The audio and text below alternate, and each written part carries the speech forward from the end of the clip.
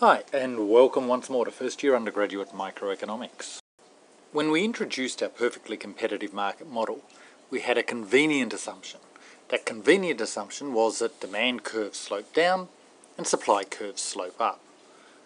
In this presentation, we want to ask a simple question. Is that assumption always true? Well, the simple answer is no. It's generally true. In most markets and most situations, demand slopes down and supply slopes up. But it's not always true. There are situations where you might get demand curves sloping up over a range of prices or supply curves sloping down over a range of prices. Those type of markets can be really interesting because you can get multiple equilibria. You can get situations where markets tip. In other words, random events can decide whether, on the internet say, one platform is successful or another platform is successful. Now, they're great topics to explore in later economics courses, but in this presentation, I'm just going to show you a simple example where the supply curve doesn't always slope up. To illustrate, let's use a simple example. Suppose that you have a part-time job, you currently work 20 hours per week, and you get paid $15 per hour. Suppose your boss offers you a really great deal. She will give you a pay rise and you get to choose how many hours you would like to work, no questions asked. You can work as many hours you like, you can work as few hours as you like. What would your answer be? Well, clearly we're asking a supply curve question. Given the price, given the wage that your boss offers you, how many hours would you like to work? And let's keep it at hours per week over, say, a year. Now I want you to actually do this, so if you haven't got a pen and paper handy, go and grab one. Stop the presentation, get it. Okay, you're back again, you've got your pen and paper. The first wage that we had was $15 an hour, so let's start off by asking how many hours you would actually like to work at $15 per hour. Remember you're looking at hours per week and you're making that commitment for the whole year. In our example I said 20 but you write down how many hours you'd actually like to work. Okay, done that? Now let's pick a different wage. Let's imagine that your boss says, well I'll pay you $30 an hour. How many hours would you like to work per week over the year? Write down your answer. Okay, let's get serious here. Let's suppose your boss says, hey, you know what? You are valuable. I'm going to pay you $100 an hour. How many hours would you like to work per week over the entire year? Write down your answer. D did I say $100? Oh, ah, gee, yeah, no, sorry. Your boss thinks you're really valuable. Your boss is willing to offer you $1,000 an hour. How many hours would you be willing to work now per week over the year? How many will you commit to? Write it down. Okay, now let's get serious here. You are worth it. Let's suppose your boss is willing to offer you $10,000 per hour worked. How many hours would you be willing to work over the course of the year?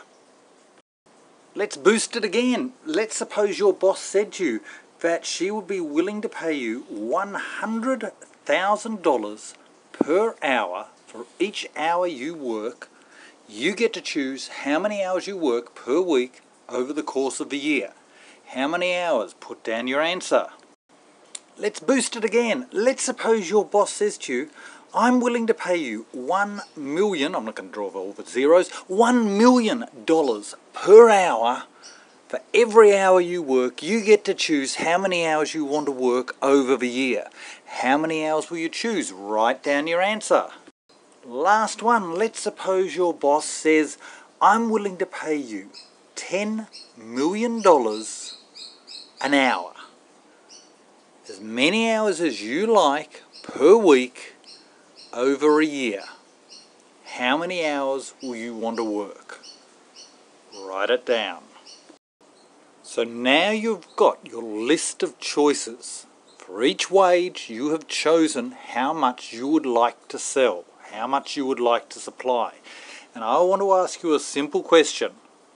did you always choose to work more as the wage went up? Or, when it got to, say, a million bucks an hour, did you actually start working less?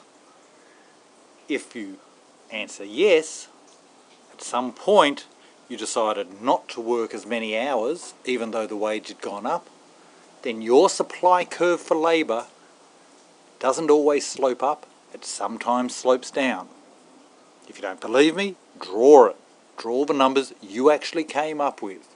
You'll see your supply curve starts to bend the wrong way.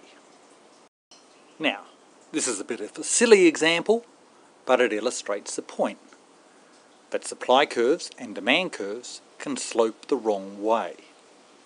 Now let's ask another question. Why? Why can they slope the wrong way? Well, let's think about the choice that you make when your wage goes up.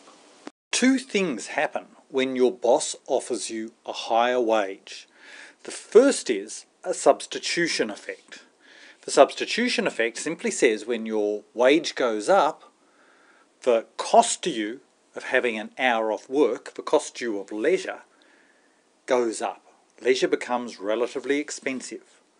So you're going to tend to switch away from the good that's relatively expensive towards other goods. That means you're going to have less leisure and you're going to work more. So the substitution effect tends to push the supply curve up. The equivalent for a demand curve involves the substitution effect pushing the demand curve down. When, for example, apples become cheaper, that means that other goods have become relatively more expensive. You tend to buy more apples and fewer other goods. That's the substitution effect. But there's also a thing that we call the income effect.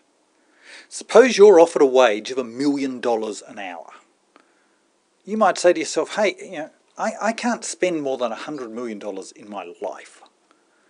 $100 million, that means I only need to work two hours a week for the entire year to get that $100 million. So, at a wage of a million dollars an hour, I might say, look, I'm going to work two hours a week for the rest of a year and then you know what? I'm going to retire and go to the beach.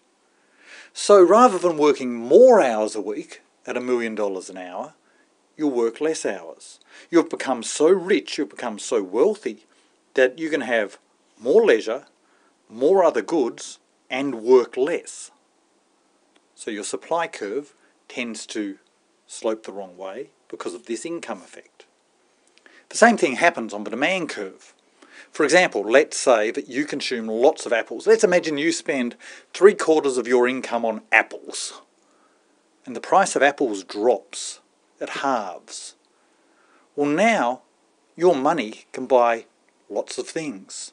You can still have the same number of apples as you did before, and you'll have a lot of money left over to buy oranges, bananas, pizzas, whatever you like. Indeed, you might have so much extra spending power because the price of apples has dropped, that you might say, hey, I don't want to spend as much on apples. I don't want to have as many apples as before. I'm going to have fewer apples and more other things. So even though the price of apples has dropped, you may buy fewer apples because of that income effect. The drop in the price of apples has so much raised your real spending power, your real income, that you're actually going to buy fewer apples so the demand curve slopes the wrong way due to the income effect. Now, in later courses you'll see more about the substitution effect and the income effect. That's all for this course. In this course we're going to keep our convenient assumption. Demand slopes down, supply slopes up. Remember, however, it's just a convenient assumption. It makes life easier for first year, but there are lots of interesting questions that economists answer where demand and supply slope the wrong way. Thanks for listening. Talk to you next time.